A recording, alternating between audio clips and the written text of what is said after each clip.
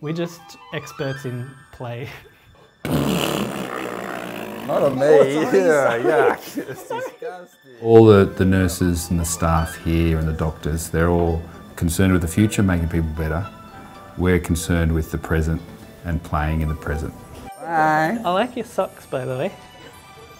It's kind of like my sickness always like, it's always just there.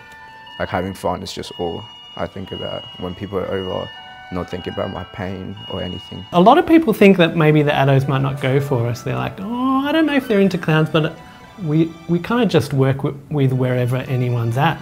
Really, we've found like anyone from zero to, you know, like a thousand and fifty, um, we can find a way to engage and play with. And now this is really exciting because we're going to introduce someone that everyone loves, and their name is Olivia.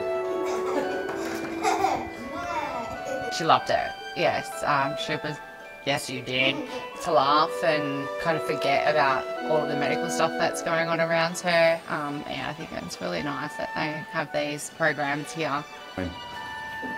Oh yeah, it's got, Playing basketball, like it's always fun, and like having the doc, like the clown doctors come make my day better, just makes me like have more hope, like getting back into a scene.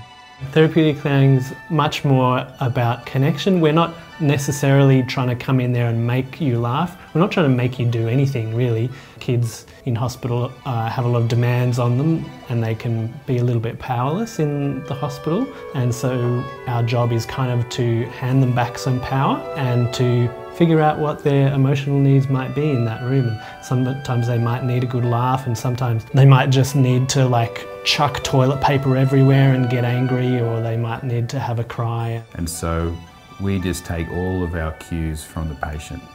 And it does give them a lot of power. They become directors. Hey! Oh, it's beautiful. Beautiful.